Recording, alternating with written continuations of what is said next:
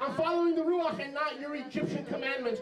You may be prime minister over Egypt, but when it comes to the things of the Spirit, you are little in the things of the Ruach because I am being led and guided by the Ruach HaKodesh. Yes. Baruch Hashem Yahweh. Hallelujah. Hallelujah. Yahweh is good. Yes. Yahweh is told. Yes. Watch this. Watch this. Not so, my Abba. Menashe is the Bachor. Abba refused the pull of the flesh. Even though he was blind, he knew exactly what he was doing. He says he will become a people. Menashe will become a people. And he will be great. But truly his younger brother will be greater than him.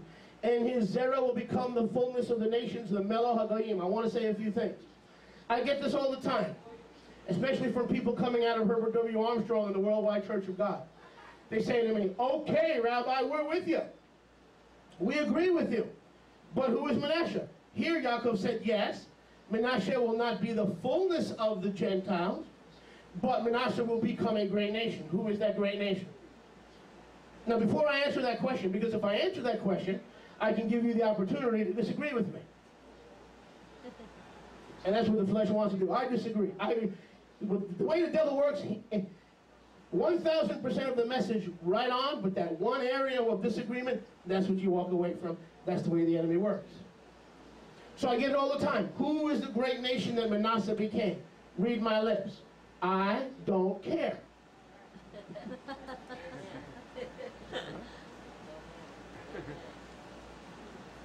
because that's not the focal point. If it was, Ephraim, Yaakov would have put his right hand on Manasseh. By the fact that the Ruach put his right hand on Ephraim, that should tell you that Ephraim is the focal point of prophecy. Yes. So some people want to argue that the Menashe is the United States. Could be. Other people want to argue that Menashe is Great Britain. Could be. Other people want to argue that Menashe is St. Thomas and the Virgin Islands.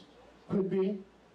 Other people want to argue that, that Menashe is, uh, is uh, you know, whatever. Pick your country. I don't, I don't, I don't know, and I don't care because I don't think anybody can prove who Menashe is. Well, that's not true, Rabbi. We go by facial characteristics. They have this and they have this and I, Isaac comes from Isaac. Get it? I Anglo-Saxons. Get it? At etymology, we start using etymology. Anglo-Saxons, como Isaac. Aha, ooh la la. We, no, we can't be sure. One thing we can be sure of, Yaakov was operating through the Ruach HaKodesh. And whatever I'm going to focus in on or, or, or, or, target right now has to be on the seed of Ephraim. So if you want Manasseh to be the United States, a blessing on your head, Mazel Tov, Mazel Tov.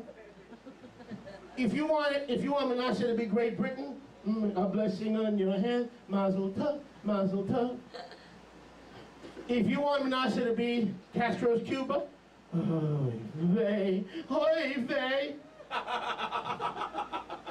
A blessing on your head, Mazel Tov, Mazel Tov. Now can we get back to the main point? Who is Ephraim? One thing we know about Ephraim's identity is we don't know, we know that there's no nation called Ephraim. That we know. Ephraim would be the collective term of the ten tribes in the north. Those ten tribes would be scattered through Assyria in 721 BCE to all nations northward through the Caucasus Mountains and westward into Europe and then further westward into North America.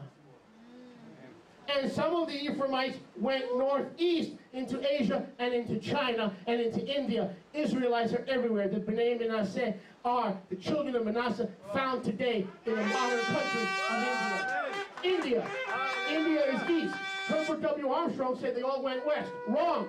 Some of them went west and some of them went east. And some of them went north and some of them went south. How do I know? Watch. Listen. How do I know? Because Yahweh said, turn to your neighbor and say, Yahweh said.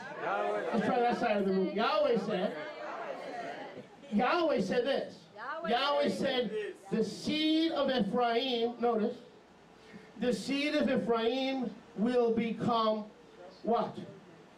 The fullness of the nations greater than England, greater than America, greater than Mexico, greater than Guadalajara, greater than Venezuela. I don't care who Manasseh is. It's irrelevant to the point. Now, people will argue about that. They'll challenge you, they'll argue their corner. Irrelevant. Let's focus in on what Jacob focused in on. Let's focus in on what the Ruach focused in on. Let's focus in on what Yahweh focused in on. Let's, let's visualize and, and, and learn what Yahweh wanted to teach us. Amen? Ephraim is the issue. And who is Ephraim? And here's the bottom line truth. You give me five, five more minutes? Okay, Okay, fine. Seven more minutes? Fine. Eight more minutes? Because my hand is on Ephraim again. Let's lay our hands on Ephraim again. Let's lay our hands on Ephraim again, not Manasseh. Let's do what Jacob did and lay our hands on Ephraim again. Because when we figure out who Ephraim is, we'll figure out who the church is.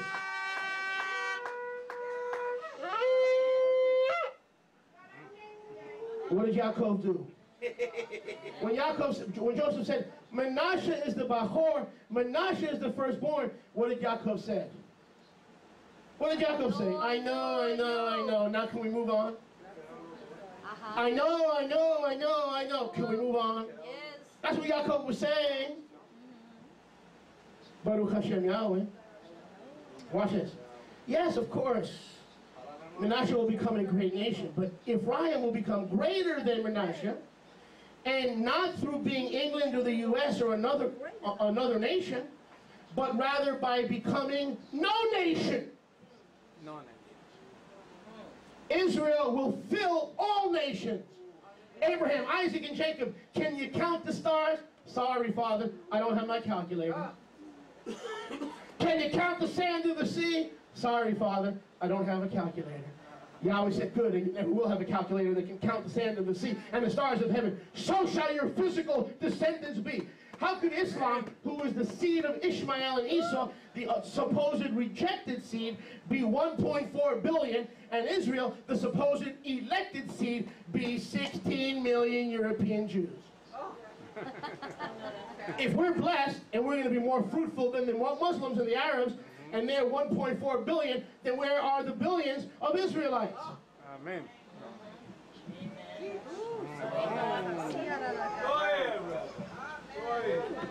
was not Ishmael and Esau that were told to count the stars in the sand of the sea.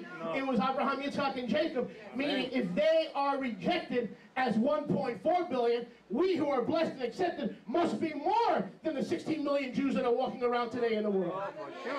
For Oh. Are Jewish people Israel? Of course. But they're not all Israel. Uh-huh. Baruch Hashem. So notice, Yaakov does this. He's, I wish I was blind like Yaakov. He knows through the Ruach you can never be blind. If you've got the Ruach HaKodesh, if you walk by, for as many as are led by the Ruach of Yahweh, they are the sons of Yahweh, Romans 8.12. For as many as are led by the Ruach of Yahweh, they are the sons of Yahweh. You can never, never be blind in the Ruach. Yes. Yeshua said to the Prushim, because you say we see, your sin remains. If you would declare yourself blind in the spirit, I would remove your sin. But because you say you see, you see, your sin remains. Watch this. How do I get saved? Declare yourself blind in the Ruach. I need a seeing eye Messiah. I need, you need, we need a seeing eye Messiah. When we declare ourselves blind in the Ruach, Yeshua becomes our seeing eye Messiah. He becomes that stone with seven eyes in Zechariah. He's not the stone with one eye or two eyes. He's the stone with seven eyes, somebody. Am I boring you? No. Not me. Baruch Hashem. Baruch Hashem. We gotta want this to watch. So he lays his right hand on Ephraim, and he says, Your seed, Ephraim, will become the Melo Hagoyim, the fullness of the Gentiles. Time out. I read in Romans 11, 25 and 26 that the mystery of Israel, the mystery of Israel, the mystery of the olive tree is we are waiting for the fullness of the Gentiles to come in. When the fullness of the Gentiles comes in, all Israel will be saved. the mystery of the fullness. When the fullness of the Gentiles comes in, all Israel will be saved.